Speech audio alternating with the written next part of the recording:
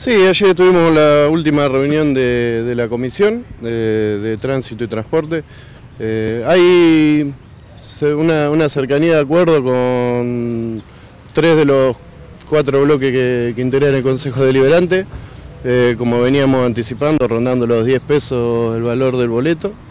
Eh, hay una posición que, no se llevó a un acuerdo, que es la del bloque de Frente para la Victoria, que seguramente hará un despacho propio y, No, la propuesta de ellos, más allá del precio, eh, hay una propuesta en que el municipio eh, subvencione algo de la tarifa del boleto. Yo creo que, ya tiene subvención del Estado Nacional por el, por el combustible, tiene subvención por la tarifa misma. Y bueno, cuando uno hace un pedido tiene que ser responsable y decir de, dónde vamos a sacar los recursos. No sé si eh, es un monto considerable, creo que rondan los 2 millones de pesos anuales. Y no sé si, piensan sacárselo a seguridad, educación o algo.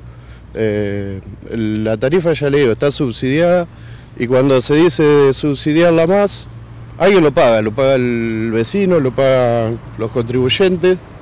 Así que bueno, creo que el martes se va a definir. Yo creo que va a ser 10 netos por una cuestión de, comodidad. 9.25, 9.75 sería un, una comodidad. Por el un sondeo en la gente? ¿Cómo lo recibiría este aumento? Mira, eh, el sondeo realmente que si vos le preguntás a la gente si quiere que le aumente algo, te va a decir que no.